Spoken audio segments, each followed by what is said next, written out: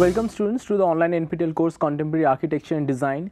In the previous class, uh, previous two classes we started discussing about the postmodernist movement and we discussed about the historicism and um, uh, high-tech architecture. So, uh, if we look at the timeline uh, of postmodernist movement, uh, so um, uh, from 1980s onwards uh, mostly the postmodernist movement started, but it is not uh, a hard and fast timeline after historicism high tech started, it is not like that. So, most of them emerged simultaneously.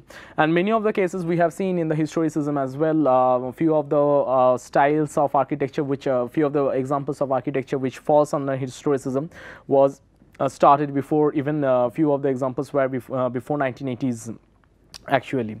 And uh, uh, because uh, in the modernism phase 3 many of the architectural movement uh, many like brutalism metabolism and tensile and shell has some features which was common to postmodern as well as modern because it was gradually shifting towards the modernist to postmodernist movement.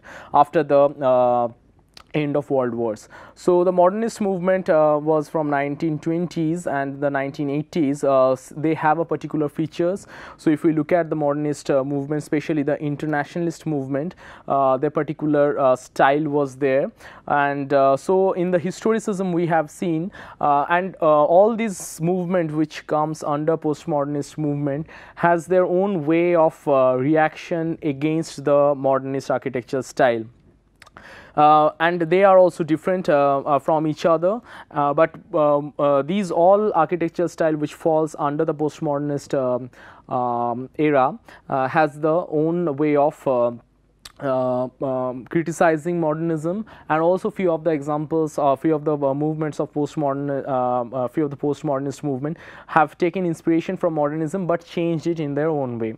So, in the historicism what happened we have seen earlier that uh, they have rejected all this modernist um, approach of uh, abstraction and non -con um, uh, contextuality and non uh, not um, blending history with the architecture. So, they have went back to the pre-modern era which is uh, pre-industrial revolution. They have taken inspiration from uh, Renaissance, uh, post-Renaissance and the before Renaissance architectural style.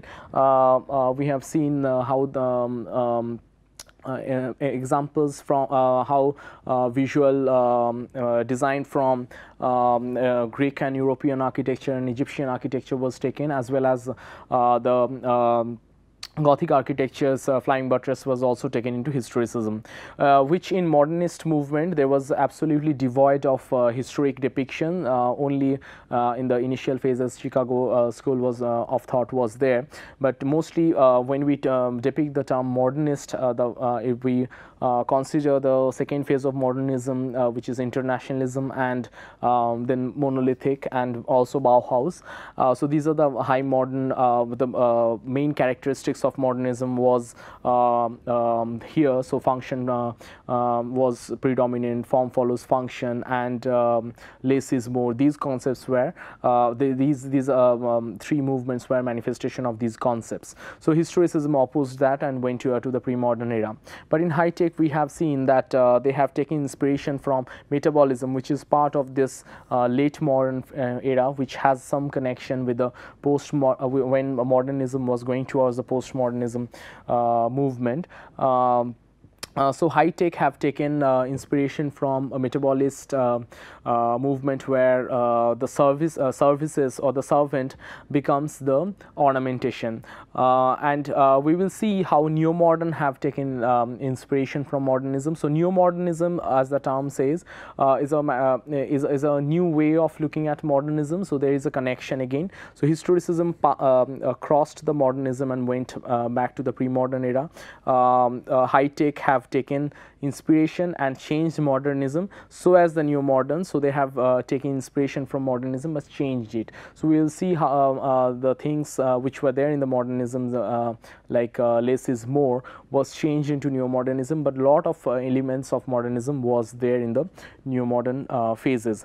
But still this is postmodern because of the eclectic eclecticism or taking inspiration from different um, um, uh, elements and putting uh, more than one uh, visual stylistic thing into uh, the visual board. So, we will see a mixture of uh, visual elements into the new modern phase. So if we look at the photographs uh, here, uh, this is uh, Villa Savoye by Le Corbusier, which is uh, in internationalist movement. Um, uh, so in historicism, this is historicism by um, Robert Venturi's Piazza, uh, Piazza di Italia. We have seen how it has taken inspiration from the flying buttresses, which we are seeing in this Notre Dame Cathedral in um, Paris, which is of Gothic style. And these flying buttresses, what you are seeing, has been translated into the contemporary uh, style. So, uh, and there was no connection with the modernism with uh, this building. So, it went past the modernism and taken the history into the context which, where modernism did not consider history, the influence of history into the design. But here, this is the Pompidou Center by Renzo Piano and Richard Rogers. Uh, they have taken inspiration from one phase, which is uh, the metabolist movement, like Nakagin Capsule Tower and uh, um, the Richard Medical Laboratory. Uh, so they have they are the servant and served concept. So the servant spaces were becoming the ornamentation, and but this is an ex exaggeration of that. And also in the other um, uh, buildings like Lloyd Building, uh, we have seen all the services were exposed outside, and also there are a few examples like uh, Torre Agbar. Um, and, uh, and Norman Foster designs. Uh, so these new materials were giving an uh, idea of futuristic architecture. So, uh, this new glass, tinted glass and also the uh, LED lights in Torre Agbar, we have seen how uh, this was uh, changing the uh, facade treatment. But these all these perspective was from aesthetic perspective. so, this is that is why this aesthetic is um, having an importance and if you look at the facade treatment, it is also very um, um, it's a lot of elements are there on the facade. So, as the other uh, examples from the um, high-tech architecture. So, this high-tech architecture is not uh, talking about the less is more which was there in the internationalist movement or the high modern era. Uh, that is why this becomes uh, falls under the postmodernism though this has a connection with the late uh, phase 3 uh, modernism. So is the uh, in the uh, neo-modern. Uh, so in the neo-modern, we will see a lot of rectilinearity, use of white, which is uh, the color of uh, color as a pure color, and um, uh, which we have seen in the modernism. White, black, and gray was the dominant color, as well as the three primary color, which were not there in this example. So um, in this two postmodernist movement, where they are they were open to the different um, colors and mixture of different elements were there. But uh, if we uh, look carefully, there was a uh, duality of the design. So, one part of the design is modern and then it changed into the postmodern style. So, if we look at so a lot of uh, straight lines and cuboids are creating one part of the design, but other side you will see a lot of uh, uh, curvilinearity is also added and these uh, facades which are protruding out is uh, creating a visual where form becomes very important and form becomes the protagonist of the architecture. So, these duality of the style one side is rectilinear, one side is curvilinear is this uh, uh, concept of neo-modern where modern is there from and taken from an aspect of postmodernist approach. Uh, so there are other uh, postmodernist movement which will uh, which uh, we will discuss gradually and they have their own way of um, looking at modernism and then the reaction against the modernist approach. So, uh, if we dis, uh, uh, take a neo-modern as a style, the neo-modern's architectural features are as follows. So, it uh, talks about new simplicity. So, uh, what happened generally uh, in this um, historicism was the first, it started in the beginning of the postmodernism and there are a lot of elements as we have seen in the Michael Graves works and um, Philip Johnson's one of the work and then um, um, uh, uh, Roger Moore's work. Uh, so the, there were a lot of um, elements which is following supporting the thought of eclecticism, different materials, different colors are creating one visual palette. So there was a garish design which is there. So um, then after that, so it's um, new modern um, um, architects thought that modernist was visual vocabulary was uh, uh, they went back to the modernist uh, visual voca uh, vocabulary. Uh, so these two, uh, neo-modern and um, neo-modern started um, almost on the same time, but neo-modern was taken farther, but historicism ended. it's not ended completely, but the um, um number of uh, buildings which uh, started falling within, the, within this uh, particular phase was gradually becoming lesser. So uh, they went back to the new simplicity where they have uh, uh, and uh, for the, simplicity they have found uh, the simplicity in the modernism because before that there was the um, uh, this pre-industrial revolution buildings where there were a lot of ornamentation because Baroque, Rococo and all this Gothic style mannerism was there. So simplicity for take, taking inspiration uh, to create a uh, simplistic building, they had to um, consider the modernist uh, movement where less is more was a concept, uh, especially in the internationalist movement.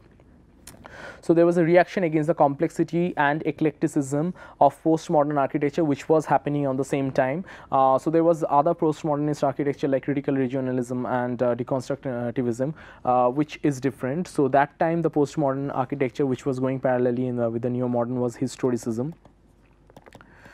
Um, uh, so uh, this was uh, they're talking about eclecticism and complexity was coming from the historicism and they opposed that.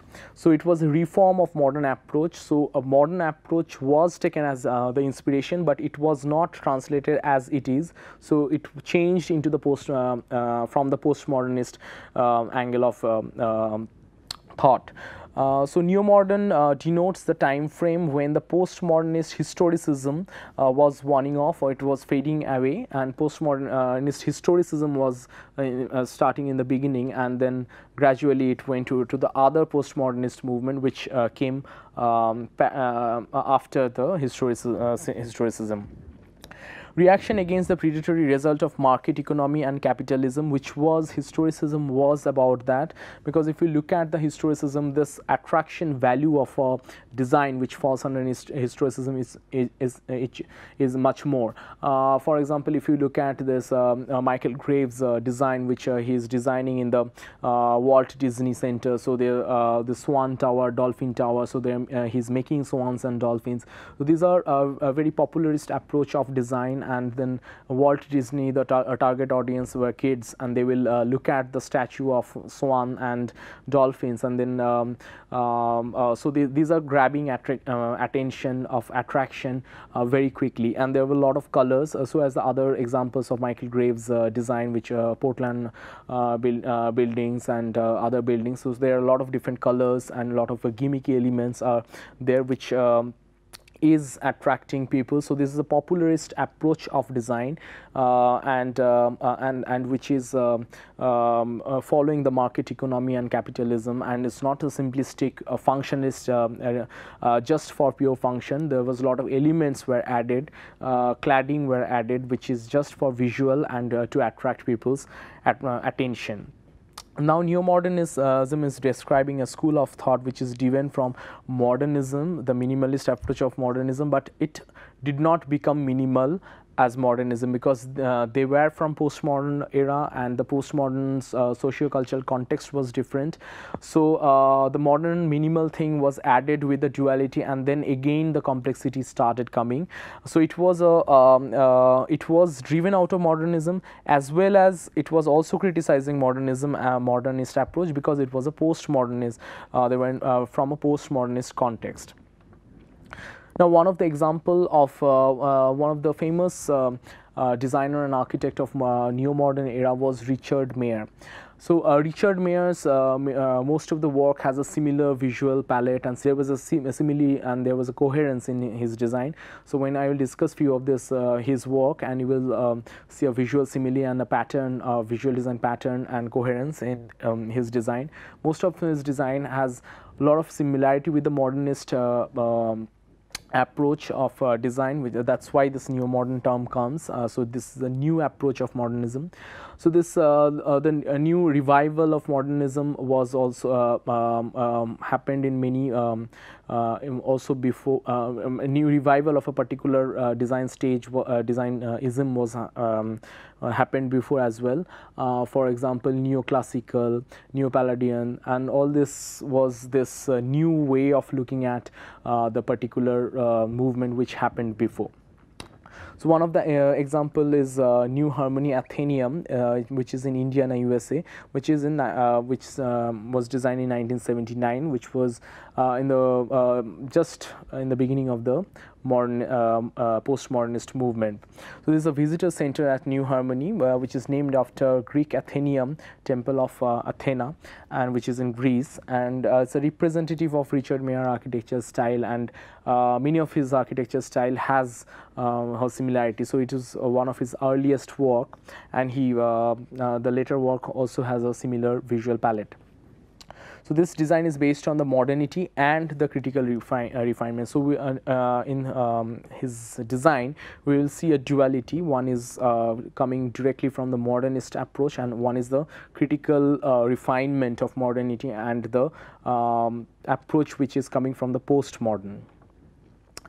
So the modernity which is there, so this is the building, uh, we will describe why this building, um, what is the duality of the modern, uh, uh, um, of this design and how the modernist and postmodernist is uh, blending and amalgamating with each other. So this is the extensive use of white color as we have um, uh, discussed, the white color is coming from the modernist movement and postmodernism is not about just one particular color, so there will be a mixture of different color, but the color is coming from the modernism. Now use of predominant rectilinear design element that is also coming from the postmodernism. So predominant rectilinear cuboidal design is a postmodern design and uh, the new material is also the postmodern design. The material palette which is similar to the internationalism, this uh, steel and glass um, and white color, these uh, are the colors which are coming from the internationalist. Uh, mostly this um, modernity when we are talking about the internationalist uh, modernity because we, uh, art deco art, um, art deco is also modernism but uh, here it's coming from the um, uh, second phase of modernism which is internationalist movement now the criticism is uh, uh, the criticism not the criticism of this building, the criticism of modernity is uh, how he is doing it by the duality of the design. Now in this design, throughout this design you will look at a lot of duality in the design. So one side you will see a lot of solid element which is added and one side you will see a void. So as the previous um, exam, uh, example there was this charge, Jubilee Church where there's one side is a rectilinear, one side is a curvilinear. So here in this uh, side you will see solid and there are a lot of void uh, through these void you will see different spaces. So uh, here your eye will uh, have one solid I will see a one solid plate. But here when you uh, look at this so um, I will go through pass through this void and punctuation. So a lot of different punctuation on different layers were added. So uh, here this punctuation is through the nature and here this punctuation is from outside to interior. So different punctuation uh, levels of punctuation is added in this side. And also the dynamic line line which is if you look at this line which is continuation of this. Uh, these dynamic broken lines are there which is not modern. Modern will be uh, less is more which is just few lines and that creates a modern um, modernism. But here there are a lot of lines and lot of punctuations lot of solid uh, play of solid and void.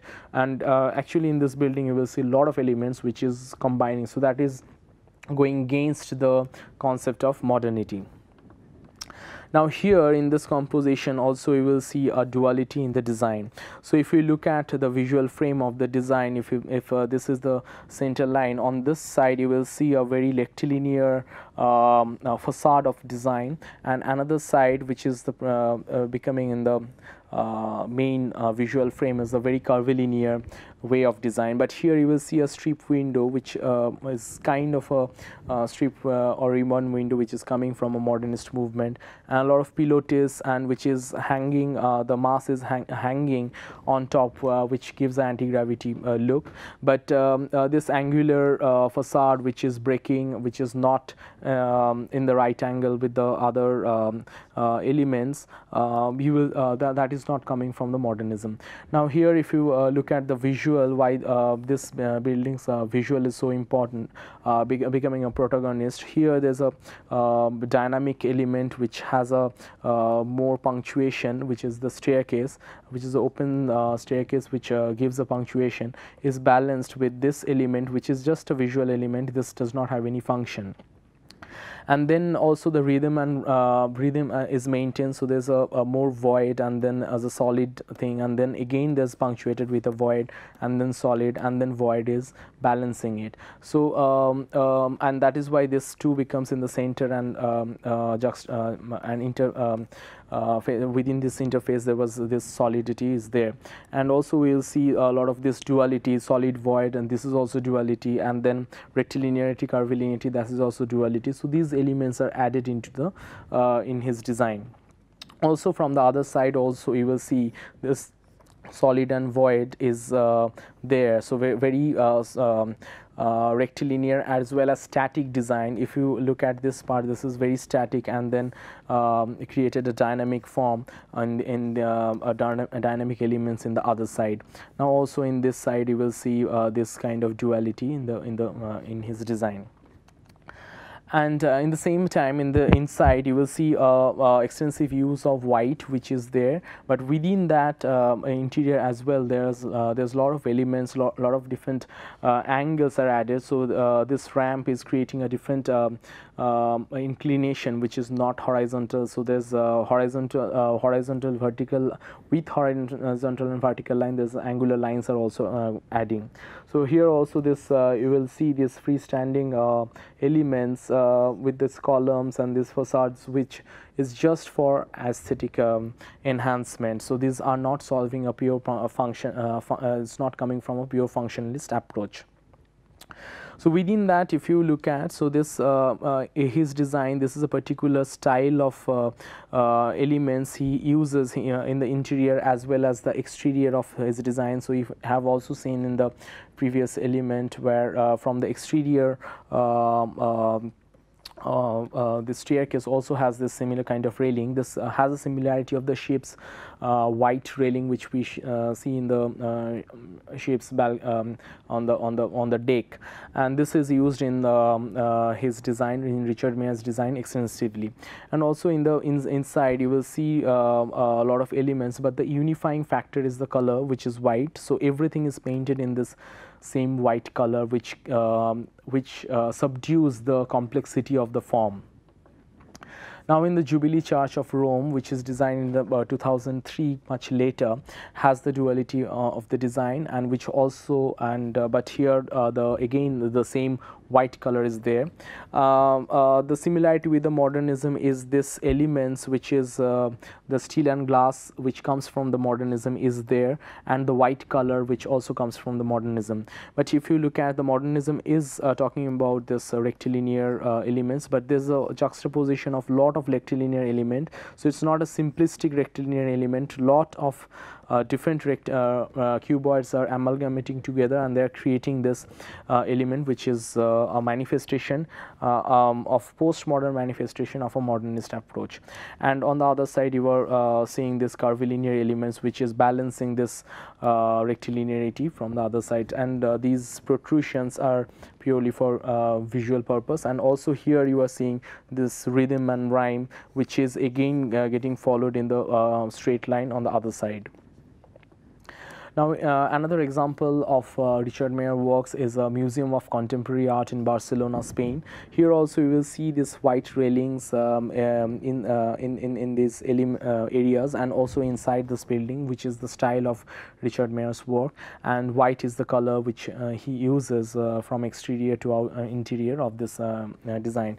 Now, if you look at, so this is the glass curtain wall, which has a similarity with the internationalist way of um, design. And but one one side of this glass curtain wall is the curvilinear form and the other side is the rectilinear form and within the rectilinear form if you look at these punctures and these elements they are purely uh, uh, uh, aesthetic elements. So these elements are just for aesthetic um, purpose. And the punctures has um, a different it's not a simplistic rectangular puncture. So it uh, some parts are added on um, the other side.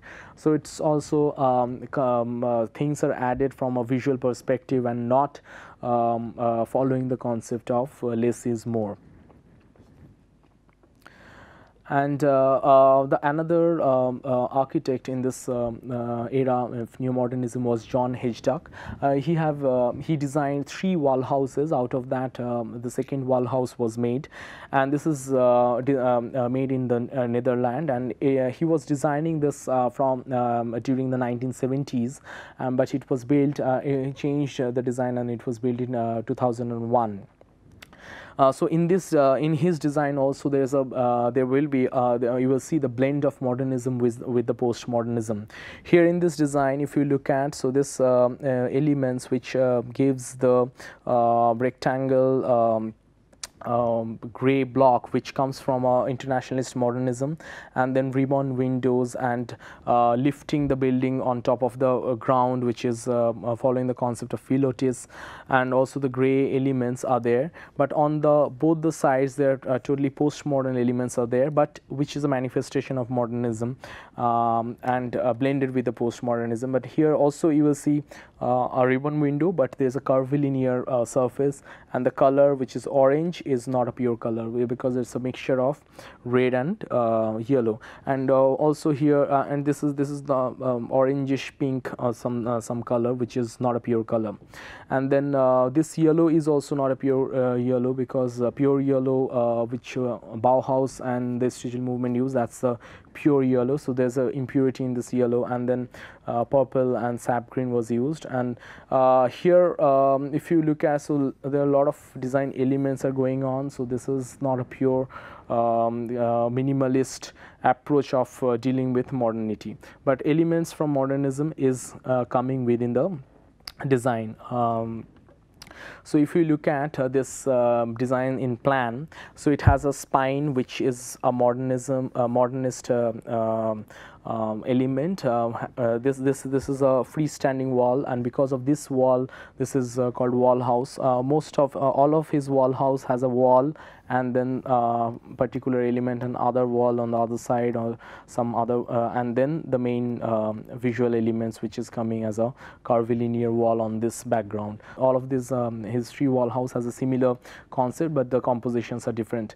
But in this uh, design if you look at the spine and this wall is uh, from a um, a modernist um, approach. So this wall is a gray concrete wall without any color, and then this is coming from a cuboidal um, element which has a strip window which is uh, um, standing on, uh, which is uh, elevated, and the ground is not uh, touched. So this is coming from a modernist uh, approach. But on the other side, there's a very free and um, liberal uh, way of designing uh, curvilinear wall on the both the side which is uh, opposing the style of modernism.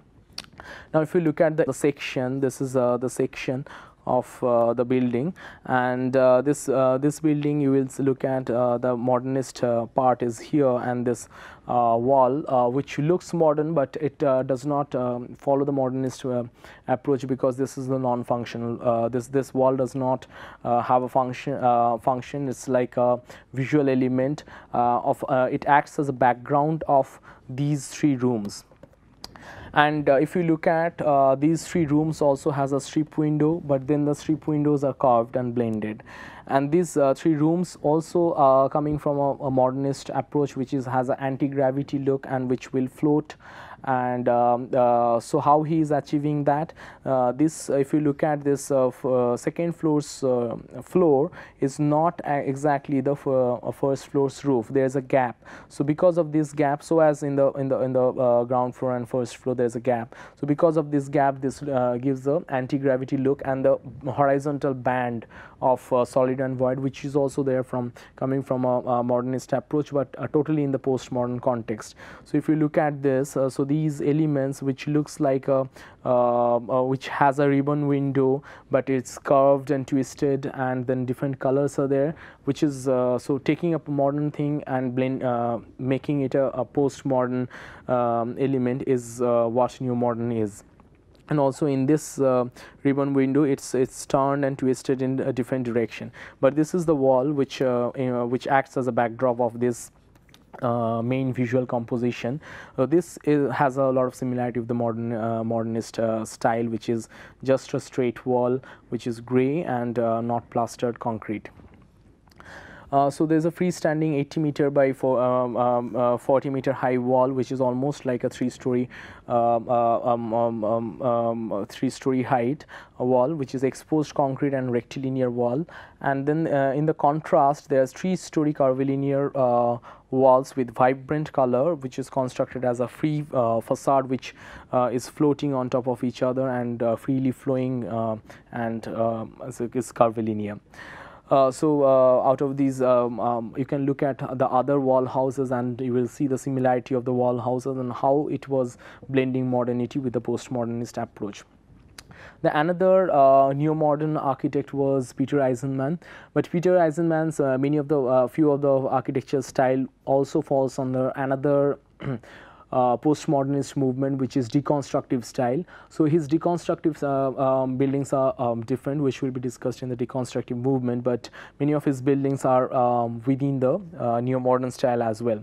So this is a cardboard house which is in uh, Cornwall in USA uh, which is designed in 1975 which is in the beginning of this um, postmodern era. Uh, uh, this is a, uh, he have designed a series of houses um, um and these are called houses of cards. And this is called cardboard architecture or paper architecture as um, it looks as a arrangement of different card, uh, cardboard which is uh, like a 2D walls and uh, so this this most of the elements if you look at does not look 3D it's like arrangement of 2D cardboards and he actually used to design uh, this building as uh, from a model um, like he used to um, uh, make the model using the card, cardboard first and they have and um, then he have designed it and then he have changed it to, into a building. So we'll see how this um, uh, what um, was the how uh, his process this process was um, uh, the final design was a manifestation of this process. We'll see how this happened and so it came from a, a, juxtaposition of different cardboard which is a 2D cardboard and then uh, finally he fitted the function function. So form was before and then the function. So form was the main protagonist. So it went back and forth form and function,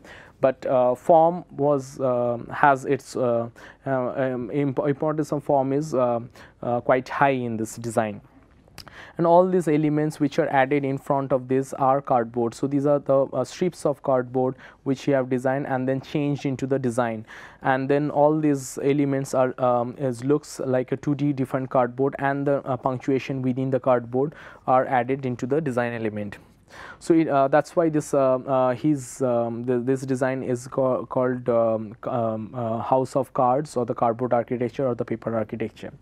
This the envelope or, or, and the structural elements are manifestation of the grids and slabs which was these grids and slabs were translation from this cardboard which he have made um, uh, in, in his model initial models.